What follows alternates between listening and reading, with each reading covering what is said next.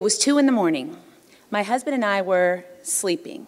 And anyone who has small kids knows that sleep is elusive. So you are truly dozing off and praying, praying that your children will not bust into your master's suite, which is the closed in garage of the house that you grew up in.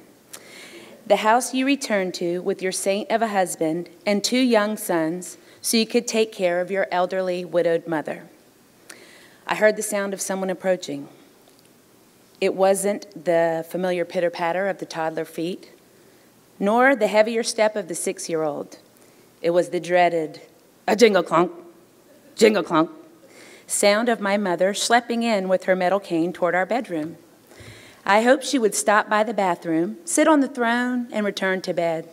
But no, the steadfast approach of the jingle clunk, jingle clunk, she started yelling my name frantically, because frantically is how we operate, my mother and I.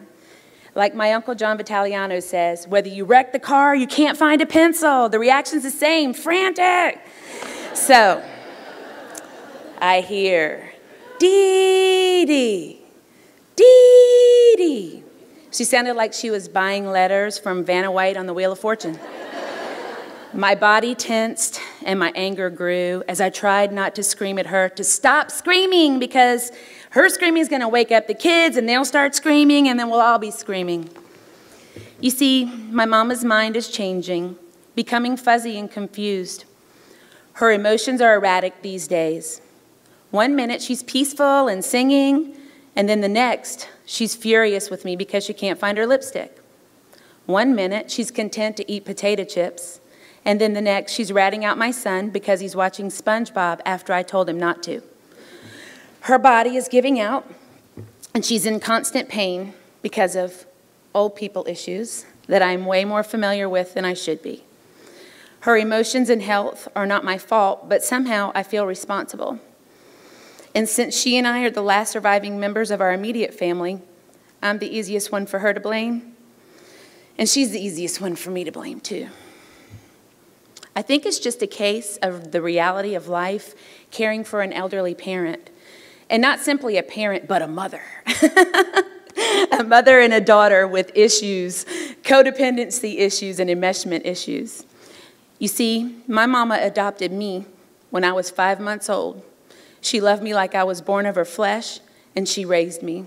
She never deserted me, even in the darkest depths of my alcoholism. She never let me go, even when I claimed she didn't love me and she wasn't my real mother.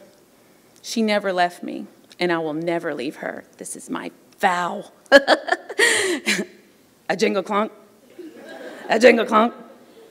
I just laid there, and she yelled, Did the baby go into your room? I said, No.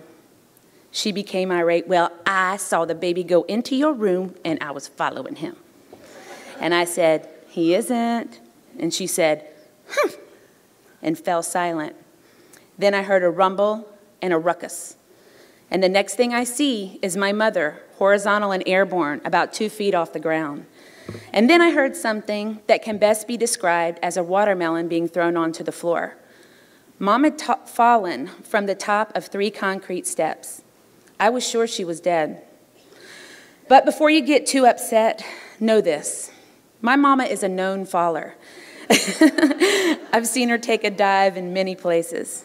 In front of the customs house back in 87, at church by the Flowering Cross in 02, the preacher and a few elders resurrected her to an upright position in quick order and joked about her being raised up into newness of life. Hallelujah. Down a flight of stairs at a Days Inn near Six Flags when I was in third grade. She even log rolled onto the gravel parking lot at Shem Creek. When she could still drive, she stopped to pick up a plastic table from the side of the road and fell. That required plastic surgery. So, this is not my first barbecue with mom falling, but this is different.